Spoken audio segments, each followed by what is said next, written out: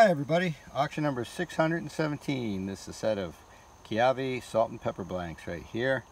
Uh, as you can see these are book matched and they are gorgeous. They have that beautiful Kiawe grain and uh, lots of color in these. Uh, so that's what the inside looks like. And uh, get you some dimensions here. These are cut at 9 inches solid. Combined widths on these, they come in just under 5, so better than 2.5 for sure. Uh, so auction 716, this beautiful Kiawe salt and pepper blanks. Thanks for looking everybody. Good luck. Aloha.